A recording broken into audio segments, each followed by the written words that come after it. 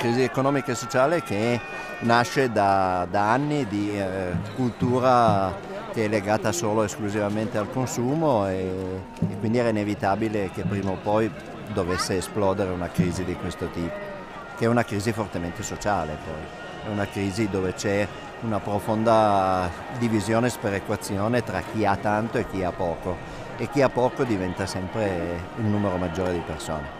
Io mi ricordo da quando ero ragazzo ho sentito parlare di crisi. Il problema è come siamo passati, diciamo così, da un concetto di chiamiamolo di povertà al concetto della miseria. Cioè questa crisi sta uh, diventando eh, veramente irreversibile, perché nel momento in cui nel mondo si sta concentrando la ricchezza in pochi eh, gruppi, in, in, cui le aziende, le grandi aziende, le multinazionali, stanno prendendo sempre di più il potere sopra gli stati attraverso anche la globalizzazione, a questo punto sembra che non ci sia più la possibilità di ritornare indietro. Oggi le ideologie sono sparite. Sparendo le ideologie, giusto o sbagliate che siano, spariscono anche i valori. Sparendo i valori cosa ci rimane soltanto? La finanza. E tutto il mondo che gira intorno a questo. Quindi questa sembra è diventata una crisi irreversibile. Per chi non l'avesse ancora capito, noi siamo in guerra. È la terza guerra mondiale silenziosa, devastante come una nube tossica che avvolge l'intera umanità. E lo scopo è lo stesso di sempre. Dividere, conquistare e distruggere. Solo che le armi non si chiamano più fucili, bombe o missili. Si chiamano spread, BCE, swap, austerity, fiscal compact, MES, rating e altre ancora. Sono tutte armi di distruzione di massa. Sono le milizie armate della finanza speculativa quella che strozza l'economia, che ci rende timorosi e schiavi, che ci impone una vita che non vorremmo.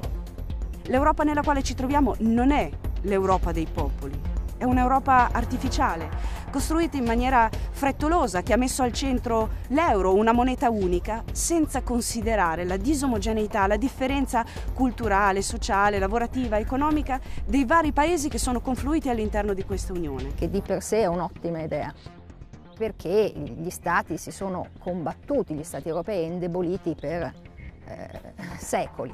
Il problema è, stata la fretta, perché a seguito della caduta del muro di Berlino l'equilibrio del mondo era venuto a cadere e si temeva che ciò potesse portare a delle problematiche eh, e dei disordini. Altiero Spinelli, quando lavorava alla Unione Europea, ancora prima della Seconda Guerra Mondiale, diceva deve nascere, deve nascere su base socialista, non sul libero mercato.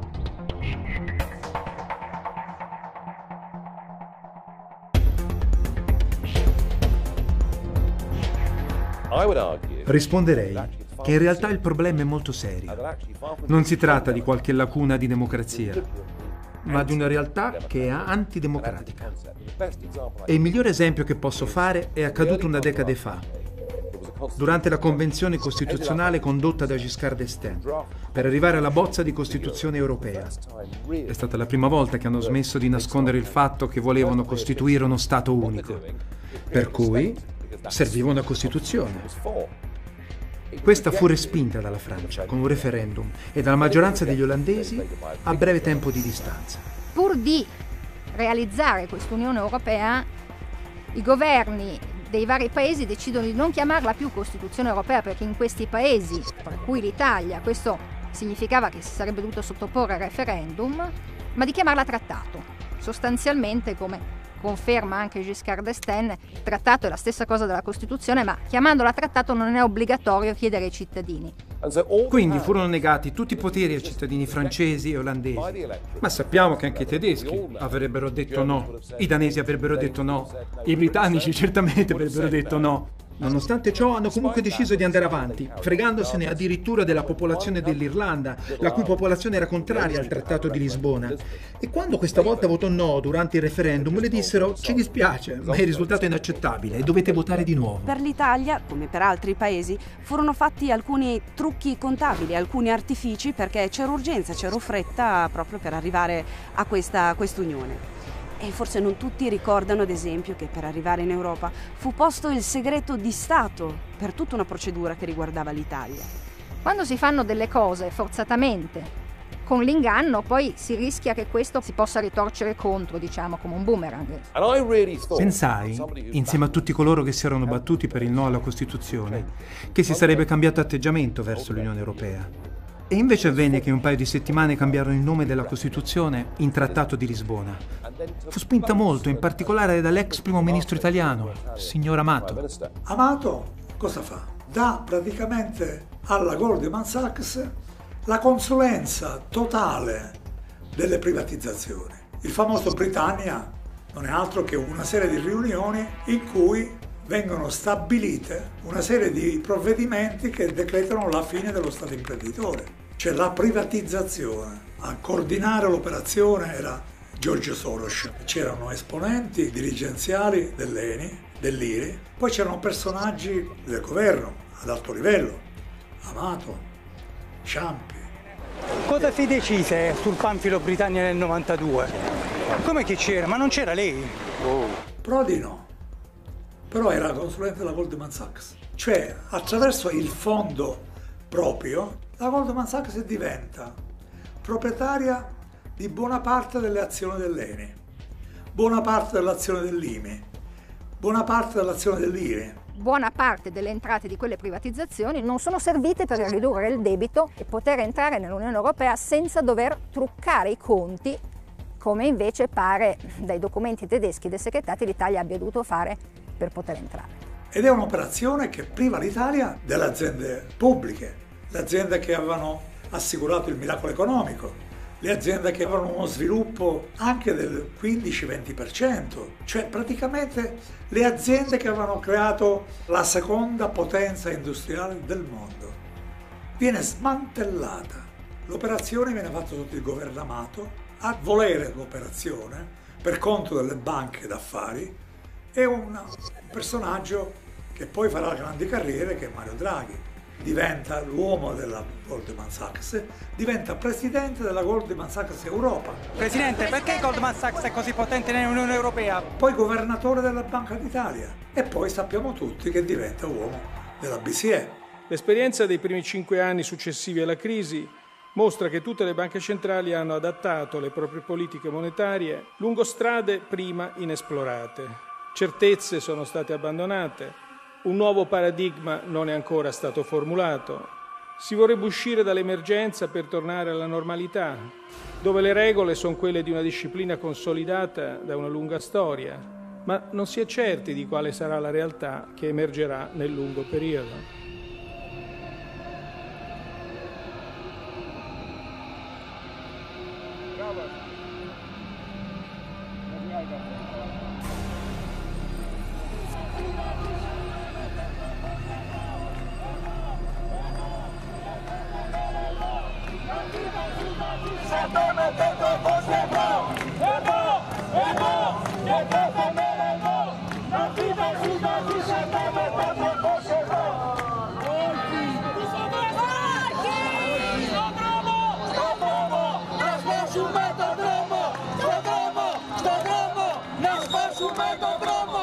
C'è un problema di sopravvivenza. Gli stipendi sono stati tagliati del 50%. Così non si possono affrontare i bisogni fondamentali. Non si possono pagare mutui, non si può mantenere una famiglia. E adesso bisogna affrontare anche il problema del licenziamento.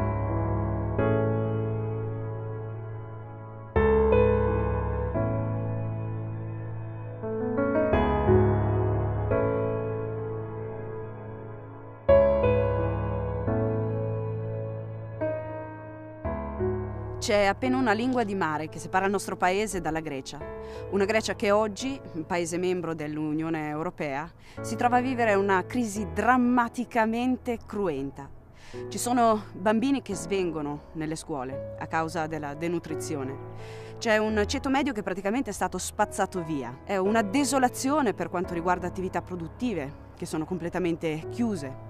Una popolazione che in diverse, decine di migliaia è costretta a vivere all'aperto nei parchi perché ha perduto casa, oltre che il lavoro, oltre che l'assistenza sanitaria. Nella Grecia dell'Europa, tutti credevano che dopo la seconda guerra mondiale, la guerra civile e la dittatura del 67-74 le sofferenze per il nostro popolo e il nostro continente fossero terminate. Comunque ci siamo sbagliati. Oggi in Europa viviamo una guerra triviale, una guerra delle banche, del quarto Reich della Merkel, contro i popoli spinti nella disperazione, la fame, la morte. Viviamo in una Grecia misera, con 1,5 milioni di disoccupati, con gli stipendi ridotti al 60%, con i bambini affamati nelle scuole, con gli ospedali che chiudono, con la cultura che svanisce. Una Grecia vittima della guerra del sud Europa. Il più grande problema della Grecia è la disoccupazione. Le pensioni sono state ridotte fino al 70%. Anche le forze armate si trovano in una situazione difficile. Gli ufficiali di ruolo, anche quelli andati in pensione, hanno problemi di sopravvivenza. Negli ultimi tre anni la spesa del PIL destinata alla sanità pubblica è diminuita del 50%.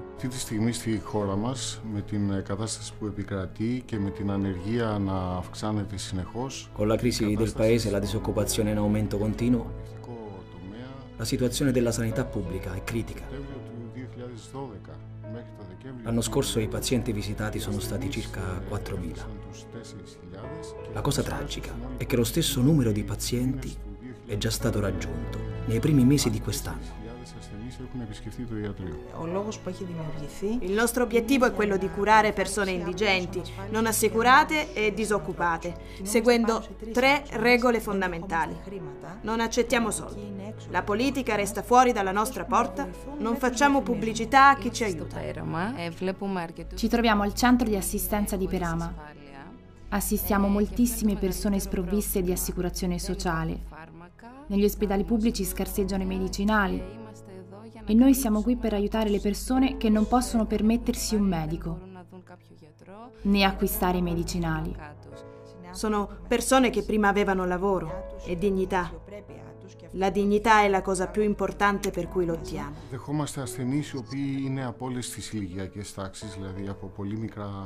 Riceviamo pazienti di tutte le età, dai neonati agli anziani. Gente che un anno fa non avrebbe mai pensato di varcare la porta del nostro centro.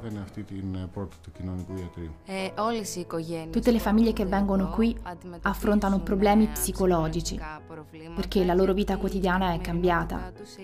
Genitori disoccupati che non possono offrire ai propri figli i beni primari come il latte, cure mediche e la scuola.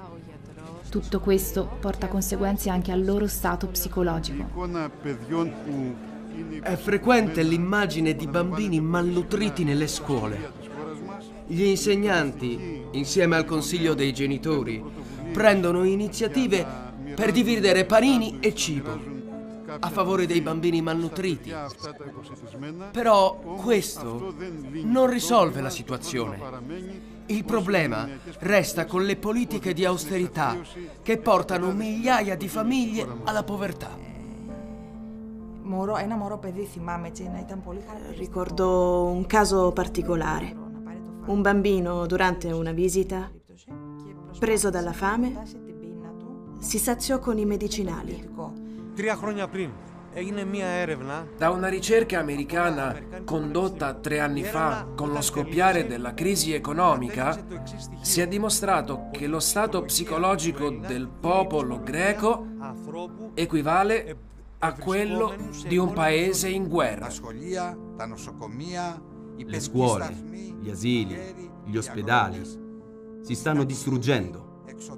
Gli anziani, gli agricoltori e i pensionati sono destinati ad una morte lenta e sofferente.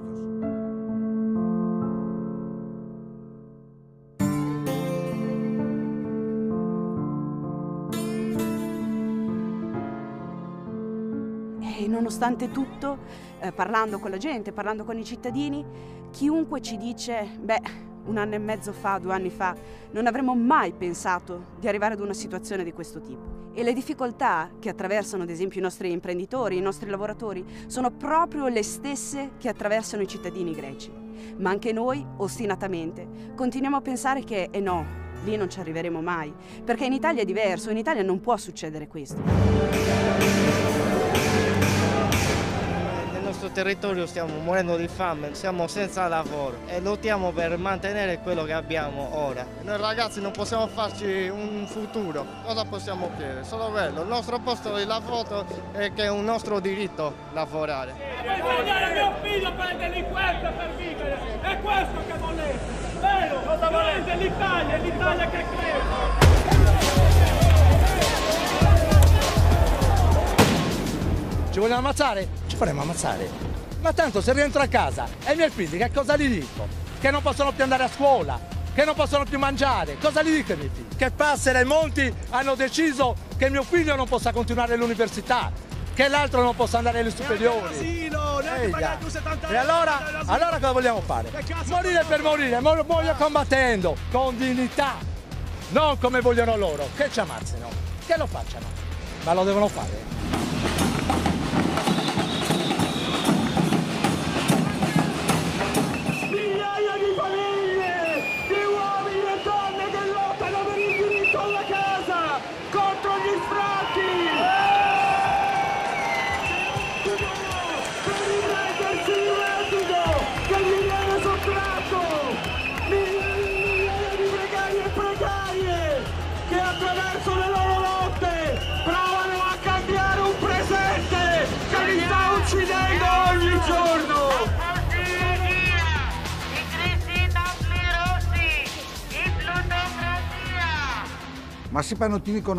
Ci hanno detto che era una crisi economica e sono arrivati i salvatori della Banca Centrale Europea.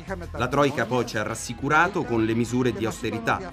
Tutto si sarebbe risolto in breve tempo e invece è stato un impatto disastroso. Bastava che il governatore della Banca Centrale Europea avesse detto noi garantiamo totalmente il debito dei paesi in difficoltà, whatever it takes, come giustamente è stato detto da Mario Draghi, quindi qualsiasi siano i costi, e, e vedete che la Grecia non sarebbe fallita. Invece di pagare eh, 700 miliardi, non so quanto più ormai sia arrivato il tassametro del costo del, del, della Grecia per ottenere quel bel risultato che abbiamo ottenuto, quei soldi lì si sarebbero potuti utilizzare per rifarla nuova.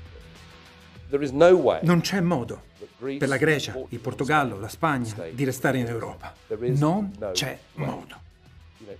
Se andiamo avanti con la singola valuta, finirà con un livello enorme di disoccupazione e con la banca rotta, sino a un livello che la gente rifiuterà. Se porti la gente alla disperazione, prenderà misure disperate. Con la situazione attuale e il nostro paese dentro l'euro, non abbiamo nessuna speranza.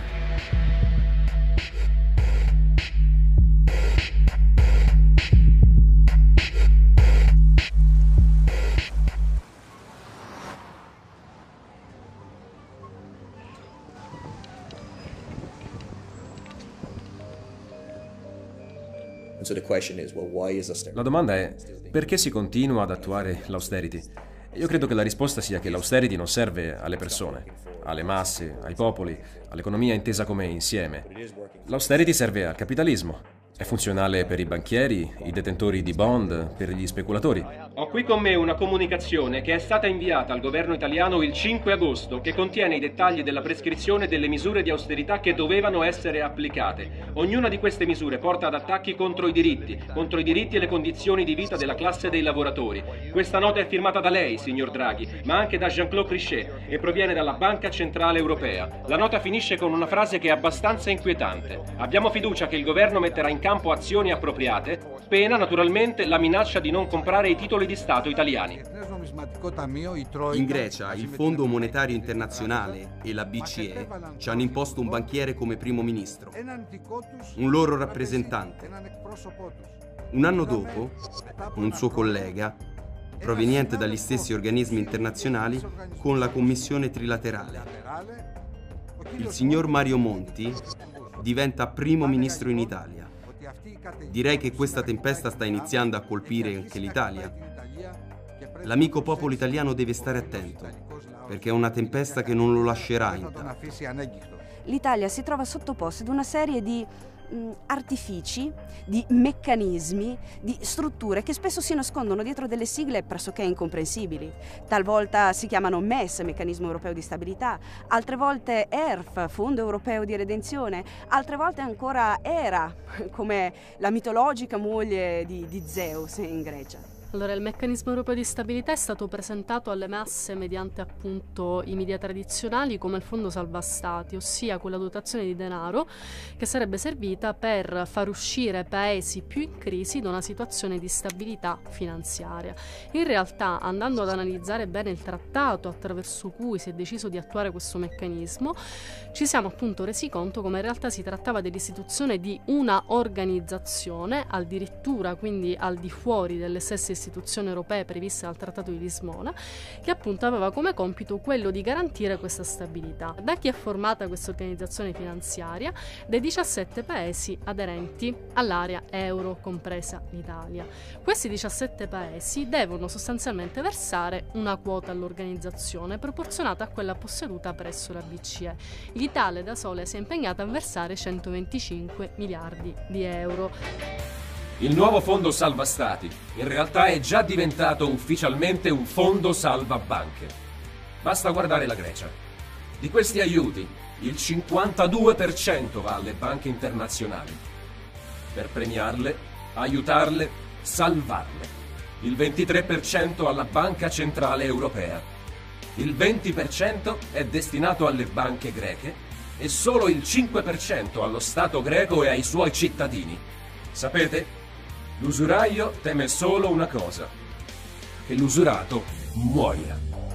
Si è aperta una discussione oggi, e questo è un punto cruciale, tra chi vuole un meccanismo di tipo intergovernativo in cui ogni Stato può porre il veto alle decisioni relative alle sue banche nazionali e chi, tra cui noi, l'Italia, chiede un meccanismo sovranazionale garantito da un backstop dotato di risorse europee stanno facendo in modo di mettere le mani in tasca ai nostri cittadini per andare a pagare e a salvare chi? Le banche. Delle strutture bancarie private in perdita per delle operazioni di finanza speculativa che ha fagocitato, cannibalizzato enormi quantità di denaro. Le stiamo pagando queste quote tramite il ricorso al debito pubblico, dunque con pagamento di ulteriori interessi. Quindi non è necessario avere grandi competenze giuridiche ed economiche per capire che se un determinato strumento viene presentato come fondo salva stati, in realtà deve essere lo Stato in difficoltà a dover ricorrere al debito pubblico per versare delle quote, già iniziano dei dubbi sulla reale utilità dello strumento. Dall'altra parte occorre chiedersi qual è l'obiettivo politico. Qui stiamo parlando di un problema molto serio di democrazia. Nel momento stesso in cui una banca centrale comincia a dare delle ricette di politica economica, indipendente da, da, da qualsiasi tipo di controllo eh, del, del popolo, diventa poi dopo il principale artefice delle nostre politiche, che è quasi peggio di una dittatura. Leggendo il trattato ci si rende agevolmente conto che lo Stato in difficoltà deve sottostare a delle condizioni rigorose, cioè chiedere all'organizzazione un prestito in cambio della possibilità di poter sostanzialmente dettare l'agenda politica al paese di riferimento ed è per tale ragione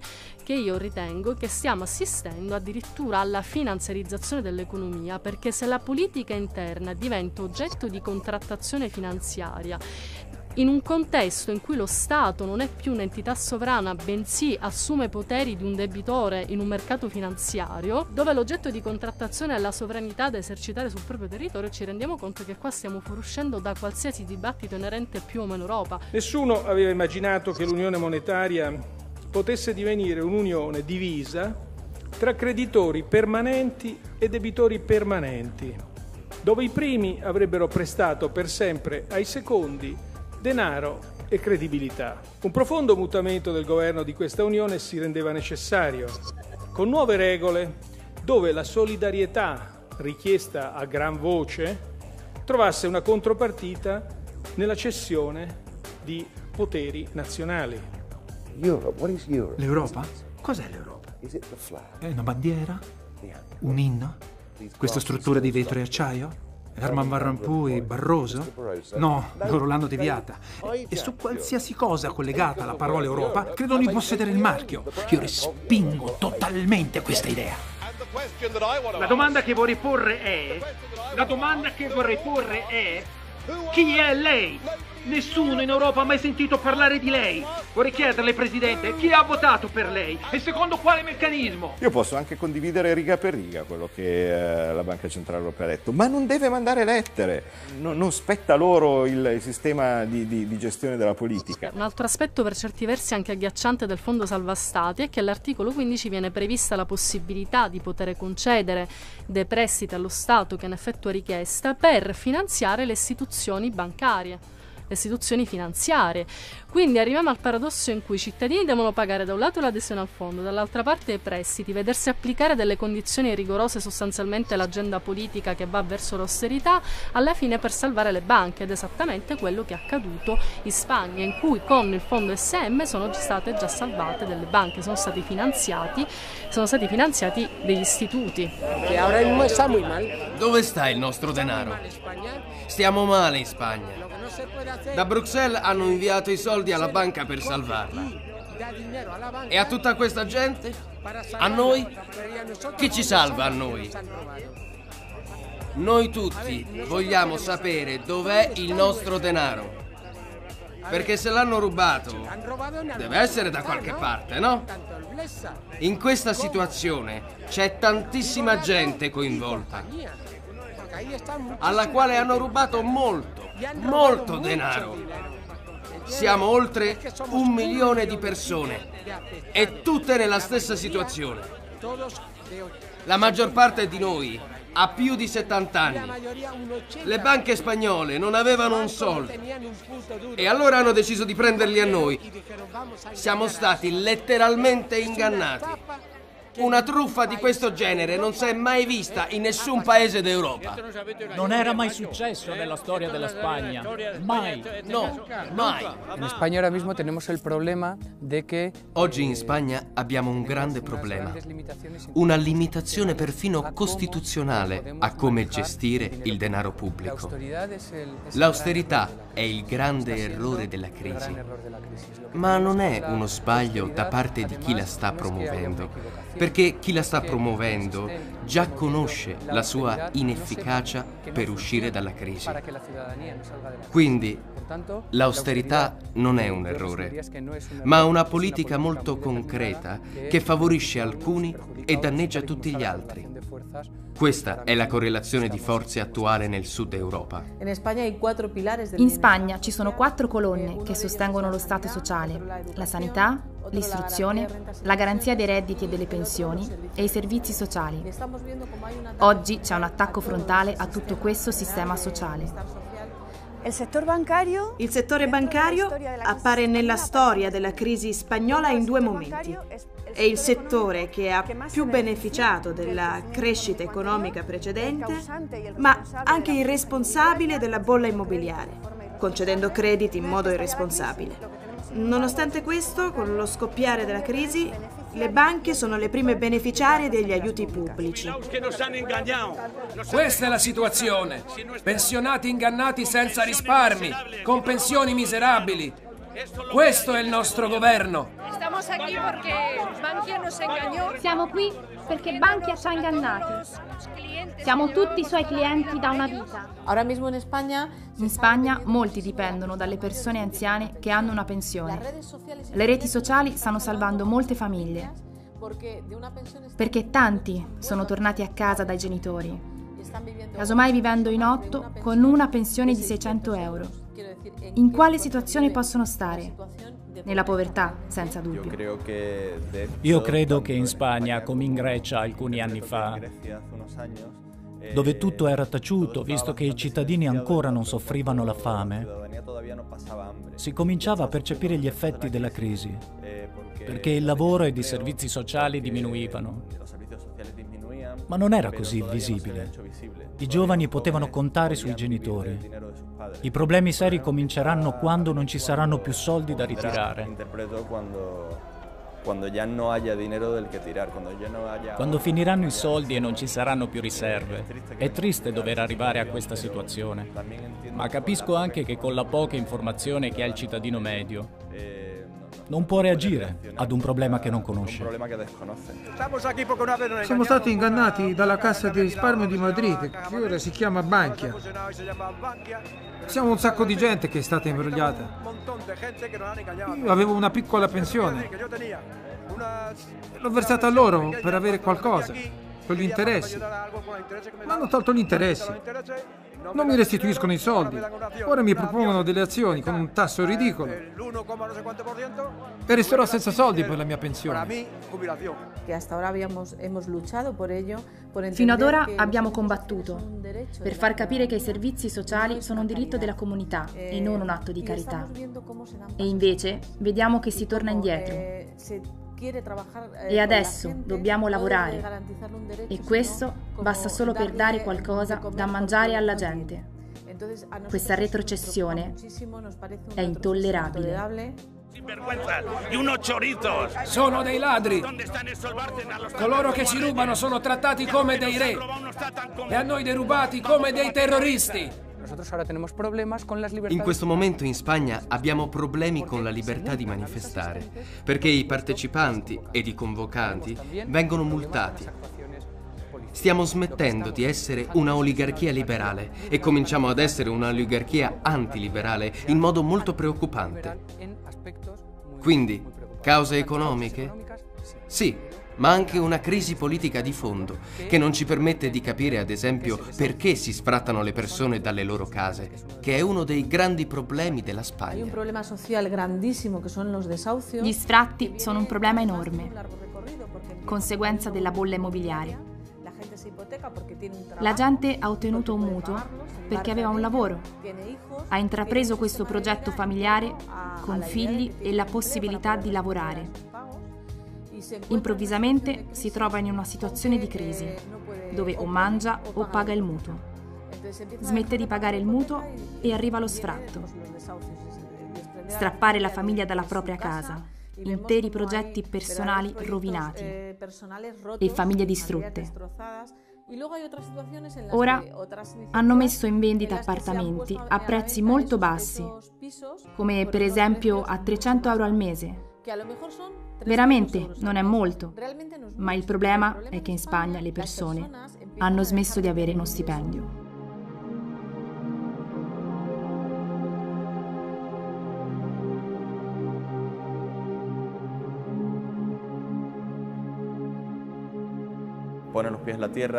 Metti i piedi a terra e cominci a vedere decine di sfratti.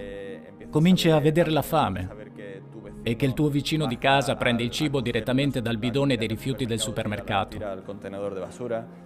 Stiamo assistendo ad una situazione inedita persino in Spagna. Molte persone rinunciano alla propria eredità perché ereditano solo debiti. Nelle nostre aule siamo in difficoltà perché chiediamo ai nostri studenti di studiare, di impegnarsi, sapendo che fuori il 50% dei giovani è disoccupato. C'è un'emergenza per i giovani. L'unica speranza di trovare un lavoro per la gioventù è andare via dalla Spagna. Proprio adesso un comitato di esperti, nominato dal ministro José Ignacio Wert, formato da otto persone e un banchiere, stanno decidendo alle spalle della comunità educativa una serie di proposte che mantengono questa linea. Ci sono problemi di finanziamento?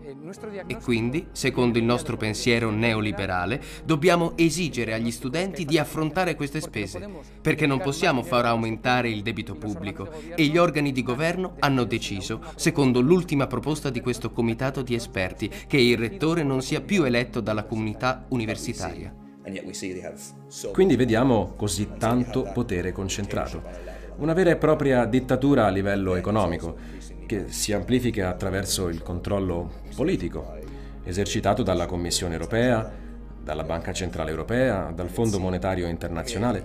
Ed è comprovato, sì, dal fatto che ci sono governi eletti, nessuno dei quali condivideva queste politiche, come in Italia e Grecia, che sono stati letteralmente rimpiazzati, principalmente dalla BCE, anche dai banchieri, non certamente su richiesta degli italiani o dei greci. bensì per dare il meglio per i mercati finanziari internazionali. Ecco quindi ancora emergere il potere dei mercati. Non ho alcun desiderio di essere parte di questa struttura costosa, che prevarica i diritti democratici, che dovrei avere io, i miei figli e le generazioni successive. Non lo desidero per nessuna parte dell'unione politica. Se qualcuno è convinto dell'idea che possiamo emendarla, cambiarla, ristrutturarla in nome dell'Eurozona, loro vanno in una direzione opposta. Portano via potere ai parlamenti nazionali per fissare i loro stessi bilanci. I commissari Oli Rehn hanno detto che in paesi come l'Irlanda è necessario valutare quando è bene avere le elezioni vi diremo noi quando potrete tenere le vostre elezioni politiche. Ma eh, chi si credono mai di essere?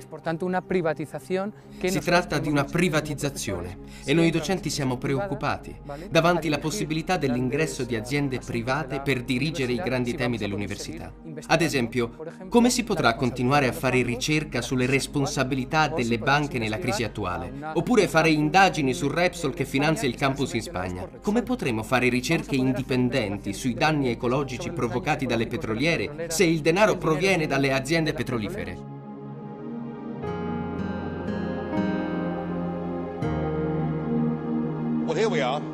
Siamo sulla soglia di un disastro finanziario e sociale ed oggi in questa sala sono presenti i quattro uomini che dovrebbero ritenersi responsabili. Abbiamo ascoltato i discorsi più noiosi e tecnocratici mai sentiti. Continuate ancora a negare, a dispetto di ogni obiettività, che l'euro sia un fallimento. E chi è l'effettivo responsabile? Chi è responsabile tra di voi? Ovviamente la risposta è nessuno di voi, perché nessuno di voi è stato eletto, nessuno di voi ha qualsiasi legittimità democratica per ricoprire i ruoli per cui siete attualmente incaricati all'interno di questa crisi. E in questo vuoto stato di cose, non di certo con riluttanza, è entrata Angela Merkel. Quindi stiamo ora vivendo un'Europa dominata dalla Germania. Questione a cui il progetto europeo avrebbe dovuto in effetti mettere fine. Questione per cui coloro che ci hanno preceduto hanno pagato caro con le loro vite al fine di evitarlo. La Germania è un, una bestia complessa perché ha questa forte spinta nazionale che viene dalla sua storia mm, culturale, militare, scientifica e quant'altro. Il suo sviluppo non è uno sviluppo eh, indifferente al potere della grande finanza sionista. Molti banchieri tedeschi sono dentro a queste strutture e in più è eh, un paese dove le banche, contrariamente a quanto ci raccontano, non è mica vero che le banche tedesche siano le banche che sono state più accorte nel imbottirsi meno di altre di eh, fondi, spazzatura, anzi è il paese più esposto da questo punto di vista. Secondo elemento, sanno di avere questo benessere in virtù del malessere di altri, ma non ci vogliono rinunciare e quindi la Merkel, di fronte anche in questa fase dove l'attendono importanti appuntamenti elettorali, deve dimostrare che la Germania non rinuncia a nulla di questi suoi privilegi, di questo suo potere politico, economico e finanziario che ha rispetto all'Europa. Noi dobbiamo con l'Europa unita fare una politica comune, vera, non così, che dà la possibilità alla Germania di comandare. Cioè, oggi tutti vanno alla Merkel a, genuflettersi è ridicolo.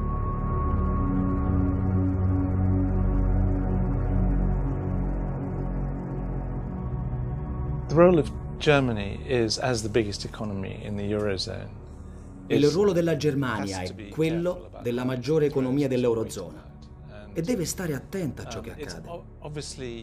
Quando i paesi fanno richiesta per i piani di salvataggio, le modifiche dei trattati o qualsiasi altra cosa, se la Germania non ci sta, allora non se ne fa nulla. Eh, io ho una visione tutta mia, molto particolare, che è supportata però dai fatti. La Germania è un paese egemone, ha una natura egemone eh, e ha, chiamiamolo quasi un destino egemone. Eh, per due volte ha tentato di conquistare l'Europa con mezzi bellici, ha imparato la lezione, con le armi non ci, non ci è riuscita e ci è riuscita con l'economia. Ha gestito la costruzione dell'Europa e il passaggio poi dopo al momento dell'euro e tuttora eh, la sua gestione nei periodi di crisi nel suo esclusivo interesse vale a dire premere per esempio perché l'Italia entrasse nell'euro nonostante ci fosse fuori parametro, era assolutamente funzionale alla propria utilità, vale a dire di disattivare un pericoloso concorrente che grazie ad una moneta eh,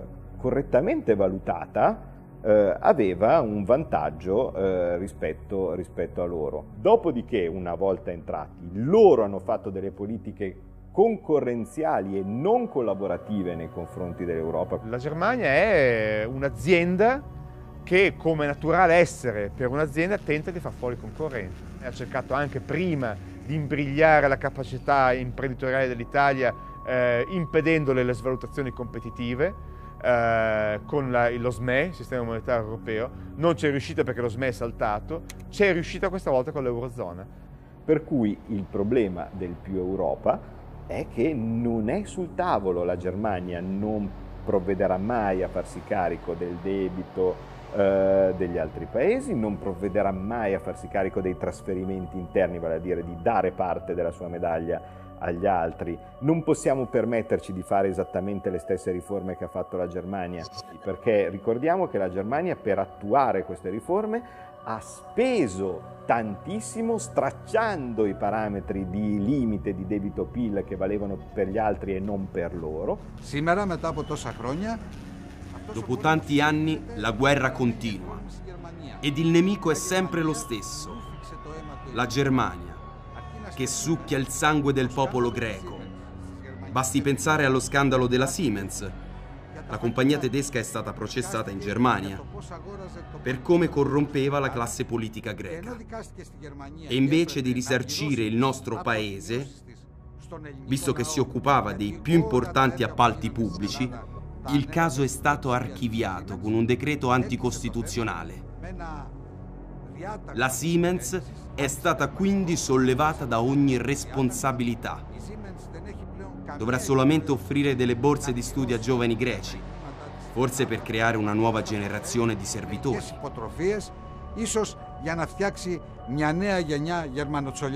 A seguito del disastro della Grecia, dello spread italiano e delle difficoltà dell'europeriferia, l'Europa centrale, quindi l'Europa Core in Germania, finanzia il suo enorme debito pubblico superiore al nostro per dimensione a tassi negativi o vicini allo zero.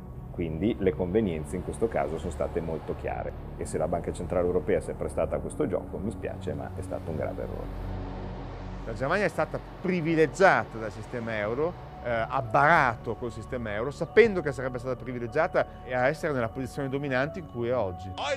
Io non voglio vivere un'Europa dominata dalla Germania, né lo vogliono i cittadini europei. Ma voi, signori, avete giocato un ruolo chiave in questi eventi. Perché quando il signor Papandreou si è fatto avanti pronunciando il termine referendum, e quando lei, signor Ren, lo ha descritto come un abuso di fiducia, e i vostri amici qui si sono riuniti come un branco di iene per scagliarsi su Papandreou, L'avete fatto rimuovere e lo avete sostituito con un governo fantoccio. È stato uno spettacolo assolutamente disgustoso. E non soddisfatti da ciò avete deciso che anche Berlusconi dovesse andarsene. Così lui è stato rimosso e sostituito dal signor Monti, un ex commissario europeo, un fratello architetto di questo aerodisastro. Un uomo che non era nemmeno membro del Parlamento. Sta diventando come un racconto di Agatha Christie, dove stiamo cercando di capire chi sarà la prossima persona a essere fatta fuori. Draghi è stato a Goldman Sachs ha gestito le privatizzazioni. Monti eh, è di Goldman Sachs, cioè io non ho particolari simpatie per Berlusconi, ma è del tutto evidente che il modo con cui lui è uscito dalla Presidenza del Consiglio non ha a che vedere con i meccanismi della democrazia, ma con delle scelte in altre in altre sfere. All'interno della Troica la BCE ha spinto fortemente per l'applicazione di misure di austerità che hanno spinto la gente verso la miseria in Irlanda, in Portogallo e in Grecia. La BCE ha anche ricoperto il ruolo di co-cospiratore centrale nell'organizzazione dei colpi di Stato silenziosi che sono stati attuati in Grecia e in Italia, dove governi eletti sono stati sostituiti con dei governi composti da banchieri. Potrebbe cortesemente abbandonare la pretesa che è stata ripetuta qui oggi che la BCE sarebbe in qualche modo indipendente? La BCE è indipendente da qualsiasi controllo democratico, da qualsiasi responsabilità nei confronti della gente comune, è uno strumento al servizio degli interessi della classe capitalista e dei ricchi nei paesi europei dominanti in cui gioca il ruolo di truppa d'assalto in questa crisi.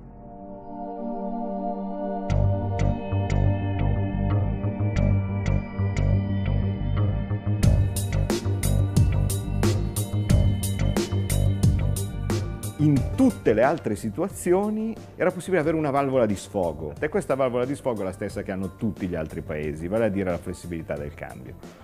Non avere più questo eh, sistema ha portato in evidenza il limite strutturale della costruzione europea, vale a dire non consentire a dei paesi che hanno un problema relativo a uno shock economico di adattarsi e di riuscire a recuperare quella flessibilità tale per poterne uscire. Credo che affinché l'euro funzioni come moneta unica, non c'è via diversa, deve essere una struttura federale. L'Europa non può tralasciare questa idea. Quindi non si dovrebbe operare in maniera furtiva nei confronti dei cittadini, come abbiamo visto fino ad ora. La gente ha subito scelte che la politica doveva proporre con chiarezza. Quello che vediamo invece è una costrizione che sta portando ad una situazione che può rompersi in ogni momento. Se l'euro si mantiene, tiene che essere Se restiamo nell'euro, deve essere a diverse condizioni. La BCE non può mantenere quella indipendenza antidemocratica nelle decisioni di politiche monetarie. Questo è chiaro. L'euro, con grande presunzione, ne sono stati solo sovrastimati i benefici, cioè vale a dire quando è stato concepito tutti i paesi hanno spinto per un processo di convergenza vedendo, esaltando solo quelli che sarebbero stati i grandi punti di forza e non ipotizzando se a distanza di qualche tempo magari un paese avesse voluto alzare la mano e dire ai quit io voglio andarmene, io voglio uscire ed è quello che è accaduto. Dato che noi stiamo parlando di un 29% che noi importiamo e dato che una volta riavuta una moneta prezzata correttamente con la nostra economia, è pensabile che questa percentuale si vada a ridurre perché è evidente che con una moneta correttamente prezzata a quel punto ci risulterà più conveniente acquistare prodotti realizzati in Italia piuttosto che prodotti realizzati all'estero che magari, certo, può anche essere considerato un costo l'idea di eh, avere eh, meno scelta per, di, di, acquisto rispetto alle altre cose, però se questo costo dall'altra parte ha come contraltare il fatto che tutte le fabbriche nostre interne poi chiudono perché ci risulta più piacevole o più conveniente comprare prodotti esteri, alla fine io affondo con in mano la bottiglia di champagne. Tu dici esco dall'Europa ma stai con le regole del denaro, stai con le regole che loro hanno stabilito per il rapporto debito, PIL e quant'altro, non vieni fuori da niente, vieni fuori da una cella grande e vai in una cella piccola. Il problema è che dire uscire dall'Europa e avere la moneta pubblica mette in discussione il loro progetto di globalizzazione. Eh, sostenere che un'uscita dell'Italia dall'euro sarebbe una catastrofe nazionale è come pensare che un cieco dà dell'orba a un miope. Eh, esattamente la stessa cosa. Eh, chi parla di queste, di queste catastrofi sono persone che non capiscono niente di macroeconomia e non capiscono niente di come funzionano i bilanci di uno Stato. L'uscita dell'Italia dall'euro con un'Italia che recupera la sovranità monetaria, la capacità di spesa, ritorna nella fiducia dei mercati. Qualsiasi tipo di import, se anche si ribaltasse, e non succede mai, se anche si ribaltasse totalmente sui prezzi del, dei beni importati è una percentuale di una percentuale. Diciamo che svalutiamo del 20%, allora il 20% del 20% fa 4%. E quindi non stiamo parlando di carriole di monete, stiamo parlando di 4% potremmo anche con una svalutazione del 20% eh, avere una benzina che ci costa meno paradossalmente, ma i risparmi si dimezzano, ma non è vero, le case non perderanno un locale perché la moneta svaluta, è un bene reale e sono la maggior parte dei risparmi delle famiglie. I risparmi italiani, i risparmi italiani se sono in euro vengono convertite in nuova moneta e con quella moneta ci si farà la spesa quindi il potere d'acquisto non ne viene danneggiato, a meno che uno non vada a fare la spesa a Düsseldorf, nel qual caso sì, però scusate, allora mi spiace, cioè inventeremo una maniera per dargli un sussidio questa è l'Europa. Eh, la gente è affascinata dal unire popoli, da non avere barriere, da mischiare culture, da vedere gente, costumi nuovi e, e sentire l'esigenza anche che nel mondo non ci fosse solo lo scontro tra eh, il liberismo e il comunismo, i due blocchi, ma che l'Europa potesse portare la, la sua storia, la sua cultura, la sua tolleranza. E invece questo sentimento è stato gestito dal potere, dalla grande finanza, per evitare che ci fosse davvero l'Europa dei popoli. Nel momento in cui toglie allo Stato il monopolio e la possibilità di creare e di usare il denaro, tu lo consegni nelle mani dei privati, banche, grandi istituti di, di, di previdenza, privati, fondi pensione, fondi monetari, fondi sovrani esteri, eccetera. Quindi hai consegnato il codice per aprire il cancello della tua vita in mano ai privati. E questo è il motivo dello strapotere del settore finanziario. Oggi, di fatto, impedendo allo Stato di usare la moneta, costringendo lo Stato a non emetterla più, anche quel poco che ne poteva emettere, tu hai consegnato questa funzione nelle mani delle banche e le banche sono diventate lo Stato. Ecco il motivo per cui il settore finanziario è padrone di tutto.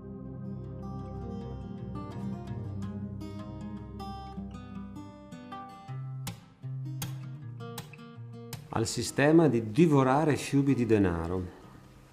Sostanzialmente il sistema controlla il, mo- il modo in cui il denaro è creato e soprattutto riesce a tenere questo sistema nascosto alla gente. Questa è la cosa principale. Decide chi è padrone del denaro, ci sono le citazioni, si sa benissimo, non mi importa chi fa le leggi, datemi la possibilità di stampare il denaro. Erroneamente in molti credono che ci sia un sottostante e il denaro di carta che maneggiamo sia il corrispettivo di quel sottostante. In realtà non esiste nessun sottostante e se, e se questo ha valore è perché noi diamo un valore a questa convenzione. Di conseguenza, se noi diamo valore alla moneta, non si capisce perché questa moneta ci deve essere prestata da dei banchieri privati che la creano dal nulla con dei bit su un computer perché il 95% della moneta circolante è virtuale e di conseguenza non si capisce perché della moneta creata dal nulla ci debba essere addebitata. Chi possiede il denaro è quello che controlla i media, controlla i centri dove si formano le idee, l'università, le fondazioni,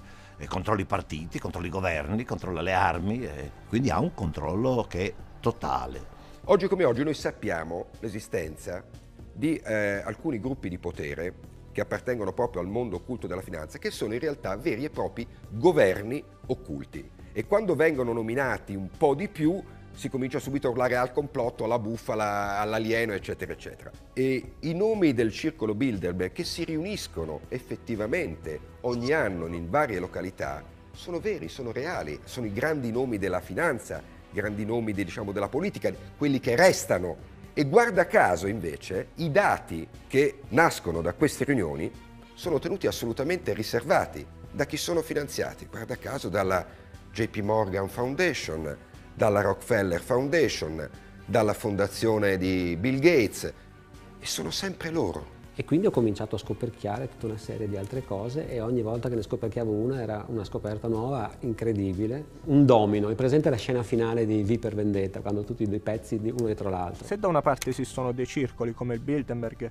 o come la trilaterale, in realtà il potere decisionale si trova ad un livello ancora più alto. Ci sono delle fondazioni molto ricche di famiglie eh, molto famose e potenti eh, come i Rockefeller, come i Rothschild, eh, come i Ford, che gestiscono sia quello che eh, sta succedendo, sia quello che dovrà succedere, perché vogliono arrivare ad ottenere un governo globale, appunto attraverso una moneta globale e la rete offre questa informazione. Se ci hanno dato questo strumento, eh, evidentemente o ci sottovalutano oppure hanno capito che eh, comunque la gente è già troppo predisposta ad utilizzare la rete come se fosse una seconda televisione. Si parlano di tante cose che non c'entrano niente, in maniera tale che la mente di chi guarda sia impegnata in tutt'altro. Chi utilizza la rete deve cercare di farlo in maniera critica, cercare le informazioni, compararle per arrivare alla verità e non lasciarsi ingannare dai cosiddetti gatekeepers, che sono appunto quei personaggi messi lì che ti dicono nove cose giuste, ma ti dicono quella cosa sbagliata che ti fa perdere il filo.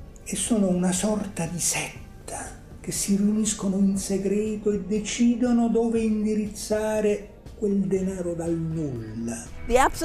L'assenza di povertà non sono 3 miliardi di dollari che si spostano virtualmente nel cyberspazio. Guardano a ciò che si può prendere, ad esempio alla terra che oggi si può arraffare in Africa, Così si punta l'Africa. Serve acqua, agguantano l'acqua. I semi, perché dovrebbero essere nelle mani degli agricoltori. E allora via con i brevetti e le royalties. Ogni passo, ogni investimento fatto dalla grande finanza nell'economia, sia questa un'economia sociale, della salute, dell'educazione, del cibo, oppure l'economia della natura, della terra e dell'acqua, è un modo per strappare risorse e ricchezze alla natura. Non c'è mai nessun investimento in denaro senza che vi sia la garanzia di ricavarne altro denaro. Quindi chi paga? La natura paga. La gente paga. L'idea di produrre servizi che potessero servire realmente all'economia e alle aziende passò in secondo piano. Fu un processo che portò ad un radicale cambiamento della natura e dell'equilibrio del rapporto tra clienti e banchieri. Non erano più clienti ed i banchieri erano diventati dei burattini, come la famosa definizione di Goldman Sachs. Sfortunatamente, i banchieri si convinsero di essere i padroni dell'universo, di essere coloro che guidavano il mondo nel modo migliore. E questo è sbagliato. È sempre più possibile riuscire a intravedere cos'è la verità. Seguire chi costantemente ha detto cose sbagliate in passato eh, probabilmente potrebbe portare a conseguenze sbagliate anche, anche ora. La crisi del debito sovrano eh, che è iniziata nel 2010 con la Grecia e poi si è spostata a macchia andando a contagiare Spagna, Portogallo, Italia e adesso comincia ad entrare all'interno del cuore dell'Unione Europea, probabilmente si protrarrà per eh, numerosi anni.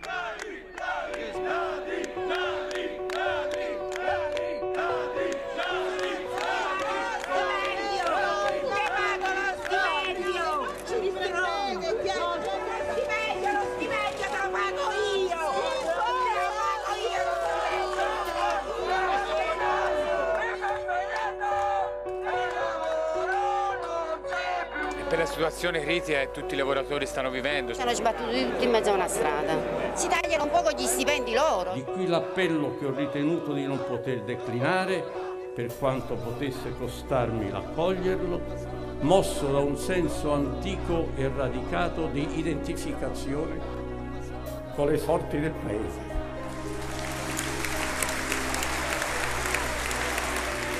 Che garantisca a tutti delle condizioni di vera e completa libertà. Un sentimento che lui si dimette. Lo vogliamo vedere con i nostri occhi, deve essere una cosa vera, visibile, non in televisione. E quello che ci sarà dopo mi spaventa, vi preoccupa. No, qualsiasi cosa arriverà dopo sarà sempre meglio di questo ventennio. Questa crisi sta imponendo un prezzo altissimo in termini economici, sociali, umani alle famiglie. Sappiamo però quale sarebbe stata la disperazione se l'Italia fosse caduta nel baratro del fallimento e del default del suo debito sovrano. Voi dite di salvare il nostro paese, ma col paese vi siete arricchiti con gli stipendi e rubando al vostro paese. Sono ingiustizie! Sono ingiustizie! Mario Monti si è dimesso. Il Premier si è recato al Quirinale poco dopo le 19 e ha comunicato al Presidente Giorgio Napolitano la fine del suo governo. Conosco Enrico Letta, è una persona intelligente, seria, europeista, quindi questo governo deve andare avanti, il Parlamento lo deve sostenere e quindi a me pare che le premesse sono buone e adesso bisogna fare le cose. Sono qui oggi per chiedere il voto di fiducia per un nuovo inizio. Le grandi opere servono soltanto a ingrassare le mafie, le banche e il sistema politico corrotto. Non vogliamo essere quelli che sfruttano gli ammortizzatori sociali, noi vogliamo il lavoro, noi vogliamo lavorare. Noi vogliamo il nostro soldo, il lavoro, il nostro soldo. Che hanno perso la si sono presi il pane dalla tavola dei nostri figli. Si tratta di una decisione che è stata presa possono togliere il sangue, possono togliere tutto, ma non la dignità alle persone. Questo forse è il momento che se ne rendano un attimino conto. Siamo cittadini italiani, vogliamo manifestare pacificamente contro questo sistema corrotto, contro questi parlamentari. Dovete andare a casa! presente che abbiamo 2 mila miliardi di debiti e paghiamo, andremo a pagare quasi 100 miliardi di interessi l'anno. Quindi siamo in un buco nero. Io credo che ci sarà una sollevazione popolare in questo paese. Insistere a usare la parola colpo di Stato è profondamente sbagliato. Ci hanno rotto le scatole, non siamo né di sinistra né destra né solo gente comune. Ragazzi, non importa di bravo sempre, tranquilli. Siamo tra di noi, eh, sereni. Aveva nostalgia di Piazza Venezia il questore o di menare un'altra volta i senza casa! La gente che lotta per i propri diritti! Eh? Che bella figura che fa! Figura, che Fate proprio una gran figura!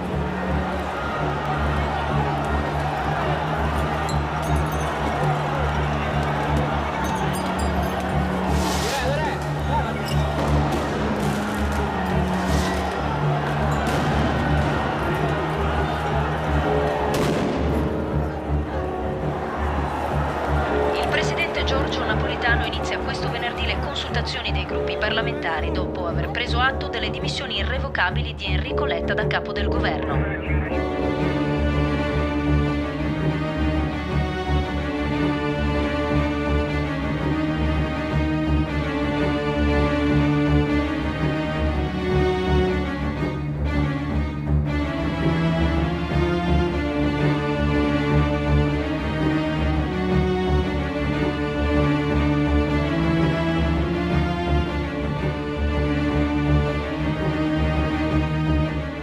questa crisi peggiorerà e la soluzione chi ce l'offrirà? Cioè, la stessa elite che ha creato a tavolino il caos.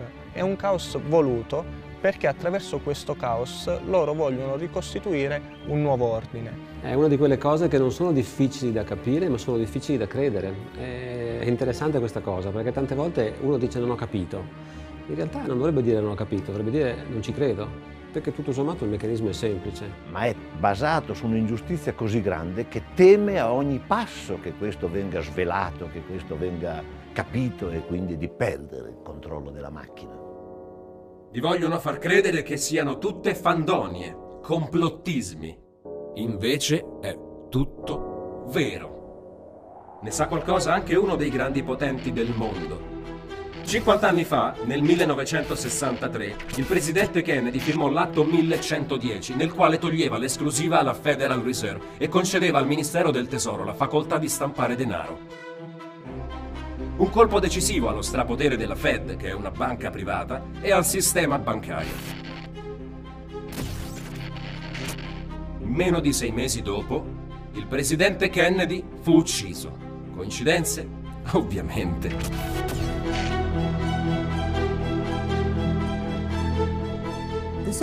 La situazione all'interno della Banca Mondiale oggi è quella di essere manovrata da un gruppo, una super entità, individuata dall'Istituto federale di tecnologia di Zurigo, in Svizzera.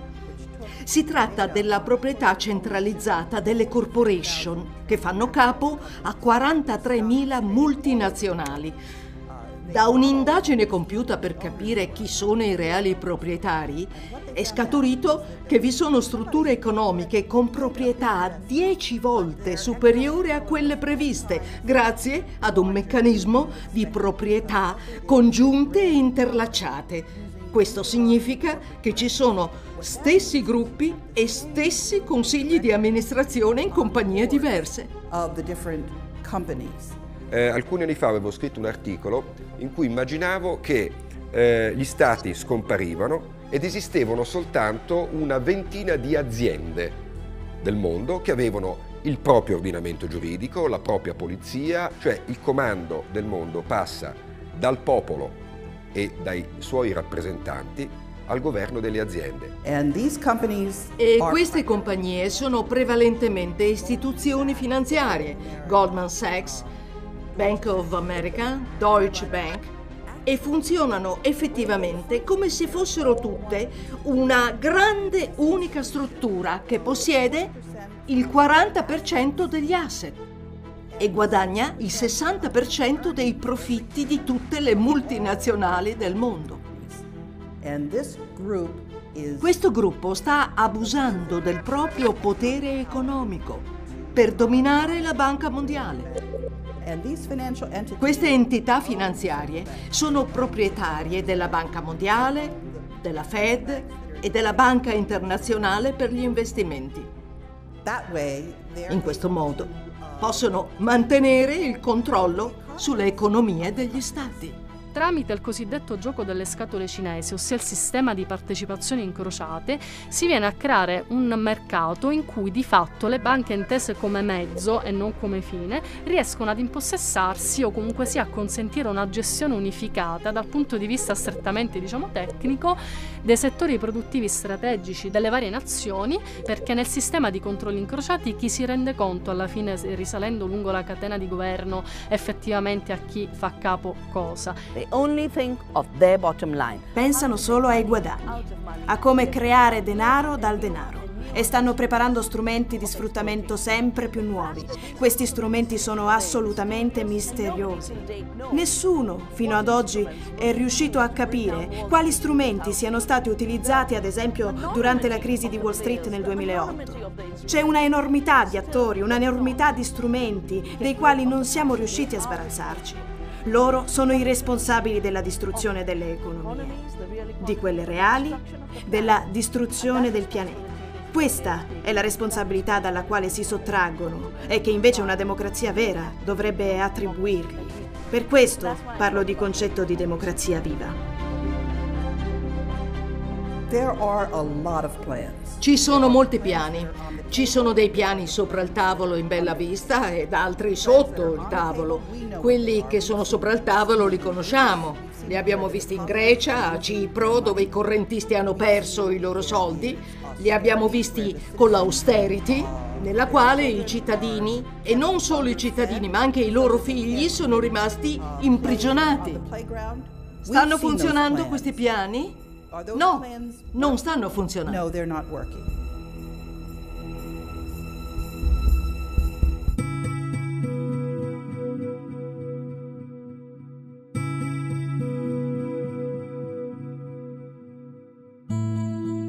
Sapete, non basta cambiare i politici, i soliti vecchi tromboni del Parlamento. La vera rivoluzione è soprattutto un fatto interiore.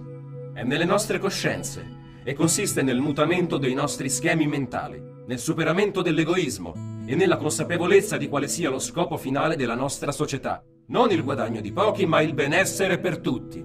Tu, dimmi, sei felice? La crisi è un'opportunità, secondo me tanti si cominciano a svegliare, si rendono conto che sono stati torchiati all'inverosimile e cominciano a chiedersi com'è possibile che il sistema vada sempre peggio. I nostri genitori lavoravano uno solo e si sono comprati la casa, eccetera. Oggi bisogna lavorare in due, si fa fatica andare avanti, si fa fatica arrivare a fine mese, nonostante la tecnologia, nonostante tutto il resto. Per cui sicuramente molte persone si sveglieranno, molte persone cominceranno a chiedere ma dove va tutto lo sforzo, che, tutto il frutto del nostro lavoro? Si renderà conto che finisce tutto in tasse, interessi, inflazione. E se noi guardiamo queste tre voci non sono scollegate fra di loro, sono tutte collegate al meccanismo di produzione del denaro. Perché facciamo come il figlio prodigo nella Bibbia, che viviamo sul patrimonio più che sul reddito. Ma naturalmente questo non può continuare all'infinito e fra poco la festa sarà finita. Ci stanno facendo credere che per le crisi dei vari stati, crisi economiche e politiche, siano necessari nuovi strumenti di sicurezza, di protezione. Ma la terra pubblica, i beni comuni, L'acqua, ad esempio, o i semi nelle mani degli agricoltori sono elementi essenziali per dare dignità alla vita. Invece ci sono delle interferenze da parte dell'economia della crescita, a tal punto che l'unità di misura è diventata la conversione della vita in denaro. Se tagli le foreste, hai crescita. Se pianti degli alberi, non hai crescita. Com'è possibile che non ci sia crescita? La moneta della vita cresce non appena un seme si apre. Invece la valuta, il denaro, crescono quando distruggi una foresta e lo stesso accade per l'umanità. Questo prodotto interno lordo non è una misura giusta del benessere, è solo la misura del benavere, eh, che solo i prodotti, la mercificazione. Ma almeno questo sistema che spreca tanto ci rende felice? No. E allora questa eh, società di crescita non è neanche auspicabile. Quando ci chiamano emergenti, puntano alla possibilità per il mercato globale di investire qui tramite le multinazionali ed io conosco bene il prezzo che stiamo pagando per questo. Primo su tutti la distruzione della nostra democrazia, la nuova economia dell'oro. Ha messo al centro la globalizzazione da circa 20 anni, fatta di norme liberiste per le multinazionali. Gli Stati Uniti sono in crisi, l'Europa è in crisi. Quando utilizzi indicatori reali come la salute dei nostri bambini, come la salute delle nostre donne, i dati reali sulla qualità del cibo, sulla qualità e quantità dell'acqua, sulla base di tutti questi indicatori. Non abbiamo mai avuto un livello di povertà come quello attuale causato dalla globalizzazione in India. Benessere dipende sicuramente di un certo livello di consumo, ma dipende anche dalla ricchezza della vita sociale. I beni relazionali, come dicono gli economisti, sono molto importanti e con la crescita sono sempre più scarsi. Groucho Marx diceva fate venire un bambino di 5 anni, ci aiuterebbe molto per capire questo che una crescita infinita è incompatibile con un pianeta finito. Su quello che dicevi prima dello sviluppo della coscienza individuale... È l'unica strada, è, forse. è la strada principale e la cosa che per me è stata illuminante quando mi hanno raccontato l'esperimento della centesima scimmia, che la coscienza collettiva non cresce linearmente, ma arrivato a una certa soglia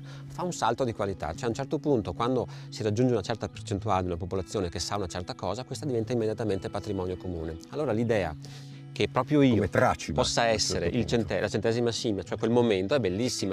Perché se no ognuno la- deve pensare di poterlo essere. Esatto, perché altrimenti uno dice ma cosa serve che io Questa è capisca? la cosa speranza. serve? Esatto.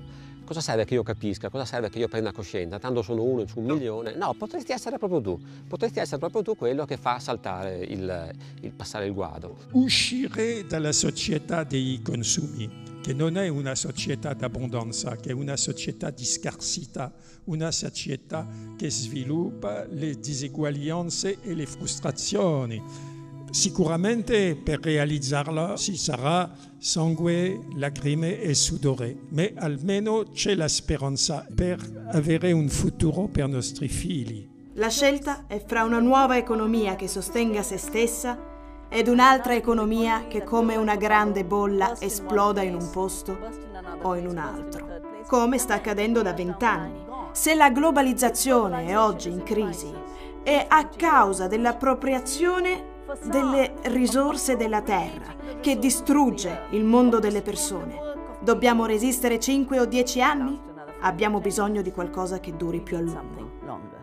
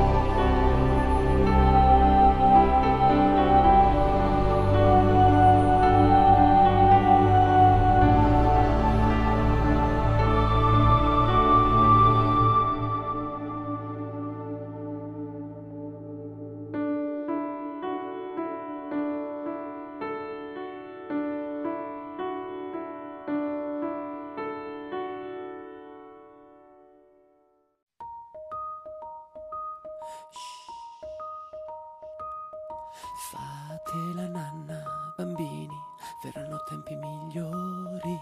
Fate la nanna, bambini, e disegnate colori. Chi comanda il mondo? C'è una dittatura, c'è una dittatura. Chi comanda il mondo? Non puoi immaginare quanto fa paura chi comanda il mondo. Oltre che il potere vuole il tuo dolore e dovrai soffrire sarai costretto ad obbedire chi comanda il mondo.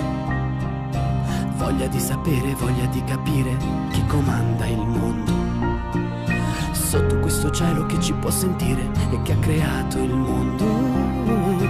Torre di Babele, torre di Babele, che ha creato il mondo. Messo sulla croce in Israele.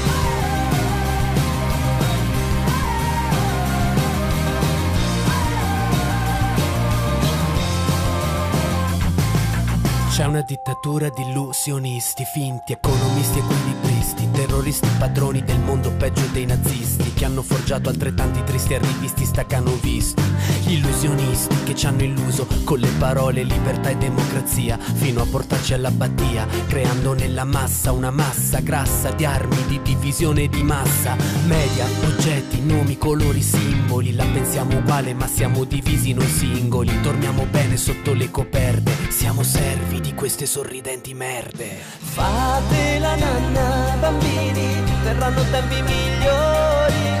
Fate la nanna, bambini, e disegnate colori. Fate la nanna che la mamma vi cullerà sui suoi seni. Fate la nanna, bambini, volati nei cieli. Ma un giorno un bambino di questi si sveglierà e l'uomo più forte del mondo diventerà portando in alto Chi comanda il mondo? C'è una dittatura, c'è una dittatura, chi comanda il mondo? Non puoi immaginare quanto fa paura chi comanda il mondo. Torre di Babele, torre di Babele, che ha creato il mondo. Dice sempre che va tutto bene.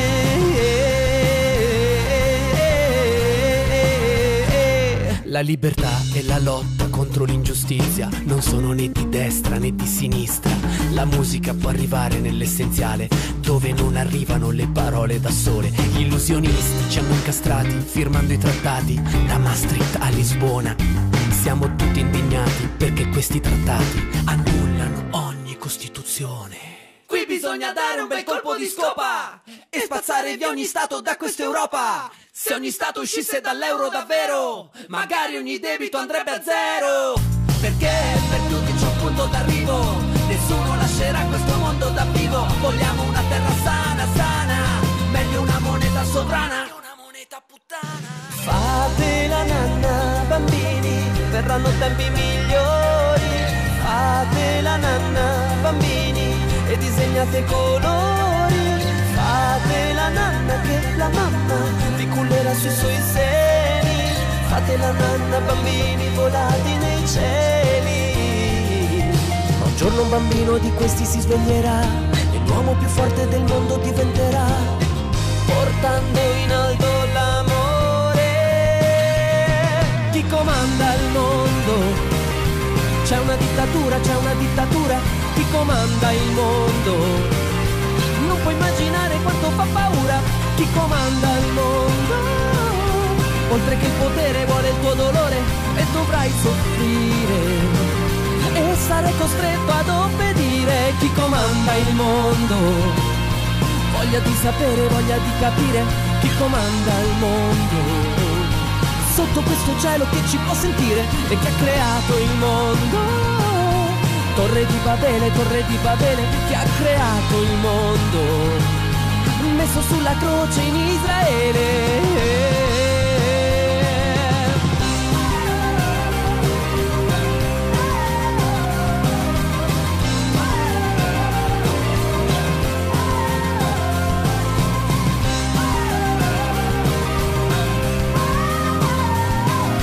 Fate la nanna bambini volati nei cieli me.